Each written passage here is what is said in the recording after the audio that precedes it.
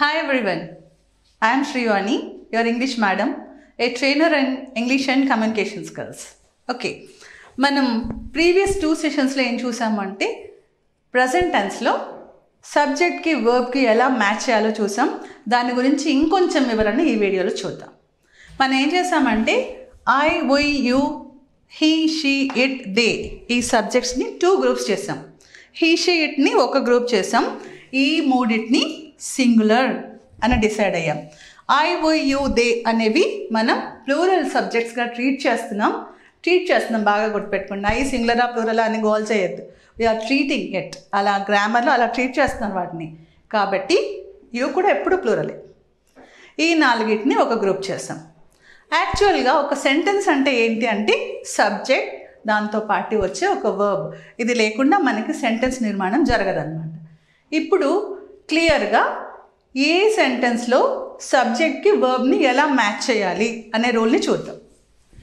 Enjoy అనే verb తీసుకున్నాం అనుకోండి.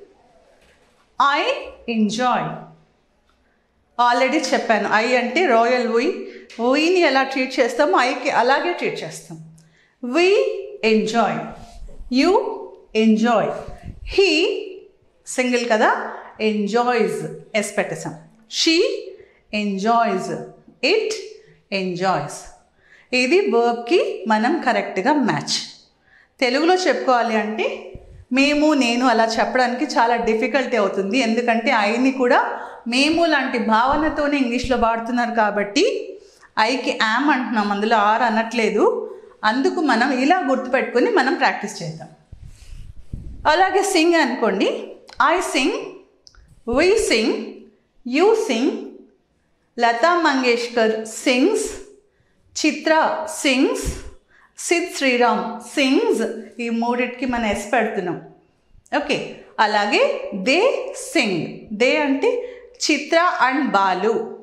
ఇప్పుడు సింగ్ అనాలా సింగ్స్ అనాలా? చిత్ర సింగ్స్ పాడుతుంది. బాలసుబ్రహ్మణ్యం పాడతాడు అంటే పాడతారు అని మనం తెలుగులో అనగలం.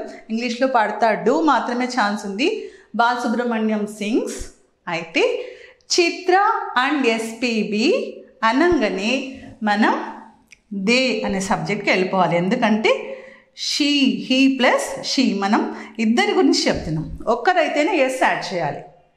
ఇద్దరు కలిపినప్పుడు దే అవుతుంది కాబట్టి చిత్ర అండ్ ఎస్బీబి సింగ్. ఇది మనం గుర్తుపెట్టుకోవాలి. ఒక్కరైతే సింగ్స్. ఇంకో వర్క్ చూద్దాం. Browse. I browse you browse we browse sister అంటే షీ కదా బ్రెయిన్లో మనం సిస్టర్ అనగానే ఫీమేల్ నేమ్ ఉన్న ఫీమేల్కి సంబంధించిన వరస ఉన్న షీ అని రికగ్నైజ్ చేయండి. My sister browses my brother browses they browse they అనే చోట మై ఫ్రెండ్స్ అనుకున్నాం అనుకోండి. My friends my friends browse my friends అనగానే ఏం గుర్తు రావాలి మనకి? ఒకరికన్నా ఎక్కువ ఉన్నారు కాబట్టి మనం దే అని భావించుకోవాలి. ఈరోజు మీరు చేయాల్సిన ఎక్సర్సైజ్ ఏమంటే మనం ఏది విన్నా వెంటనే దాన్ని I we you they he she it దీంట్లో ఏ సబ్జెక్ట్కి అది మ్యాచ్ అవుతుంది. అంటే ప్రపంచంలో ఎన్ని నౌన్స్ ఉన్నా అన్నీ కూడా ఈ ఏడు సబ్జెక్ట్స్ లోపలికి వచ్చేస్తాయి. ట్రైన్ అంటే ఇట్ అనుకోండి. ట్రైన్స్ అయితే దే అవుతుంది. టైగర్ అంటే ఇట్ అనుకోండి. టైగర్స్ అవుతే దే అయిపోతుంది. My friend he or she అవుతే మై ఫ్రెండ్స్ దే అవుతుంది.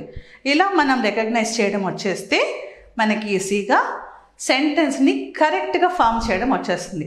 కరెక్ట్ సెంటెన్స్ ఫామ్ చేయడం అంటే సబ్జెక్ట్కి తగినట్టుగా వర్బ్ని ప్లేస్ చేయడం. అది పెట్టేశామంటే మనకి వాక్య నిర్మాణం గ్రామర్లో ఎలాంటి అనుమానం లేకుండా వస్తుంది మాట్లాడడానికి కూడా అలాగే అన్నమాట. క్వశ్చన్స్ కూడా చెప్పాను కదా డూ డస్ అలాగే వీటికైతే డోంట్ మిగతా వాటికి హీ షీట్కి అయితే డజంట్ ఇప్పుడు డోంట్ అనే వాక్యం చూద్దాం. I don't chat with him I don't we don't chat with him you don't chat with him they don't chat with him my mother she గుర్తొచ్చింది కదా? My mother doesn't chat with him uncle doesn't chat with him చూడండి. Mother అంటే she uncle అంటే he కాబట్టి doesn't తీసుకున్నాం. ఇప్పుడు ఇలా negative వాక్యాలు కూడా మీరు ఎన్నైనా ఫామ్ చేసుకోవచ్చు. వీటికి డోంట్ వాడితే దానికి డజంట్ వాడాలి. ఇది కూడా బాగా గుర్తుపెట్టుకోండి. ఇంకొక ఎగ్జాంపుల్ చూద్దాం. I don't watch English movies we don't watch English movies don't watch they don't watch English movies my friends don't watch English movies my friend doesn't watch English movies Sneha doesn't watch English movies అర్థమైంది కదా? ఎక్కడ don't వాడాలి? I we you they they అంటే more than one ఉన్నప్పుడు. Don't వాడండి. మిగతా వాటికి doesn't వాడండి. ఇది నెగటివ్ సెంటెన్స్ క్వశ్చనింగ్ కూడా అలాగే.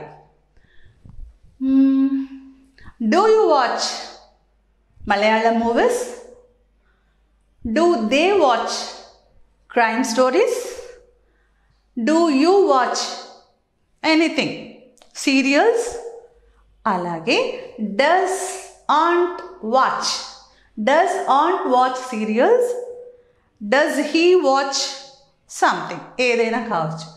క్వశ్చన్కి కూడా ఐ వై యూ దేకి డూ వాడాలి. హీ షీట్కి డస్ వాడాలి. మనం క్వశ్చన్ గురించి నెక్స్ట్ సెషన్లో చూద్దాం. ఎంజాయ్ ద డే ఈ గ్రామర్ రూల్ బాగా లాజిక్ గుర్తుపెట్టుకోండి. ఎక్కడ డూ వాడాలి ఎక్కడ డస్ వాడాలి ఎక్కడ వాచ్ అనాలి ఎక్కడ వాచెస్ అనాలి బాగా గుర్తుపెట్టుకోండి. మీ ఇంగ్లీష్ ఫ్లాలెస్ అవుతుంది. ఎక్కడ మిస్టేక్ ఉండదు.